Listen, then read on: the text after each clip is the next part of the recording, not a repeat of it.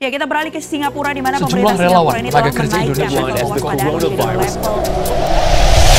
Virus corona menjadi salah satu hal yang menggegerkan dan menggemparkan di awal tahun 2020. Bagaimana tidak? Pasalnya, sampai sekarang ini belum ada antivirus yang dapat menangkal virus yang satu ini. Sampai artikel ini dimuat, sudah lebih dari 43.000 orang terinspeksi virus yang satu ini.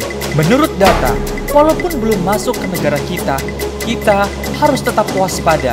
Virus yang berasal dari negeri Tiongkok ini sudah memasuki negara tetangga seperti Singapura dan Malaysia. Cara yang dapat kita lakukan untuk menjaga diri kita dari virus tersebut adalah selalu mencuci tangan sebelum dan sesudah beraktivitas, memakai masker di keramaian dan menjaga daya tahan tubuh.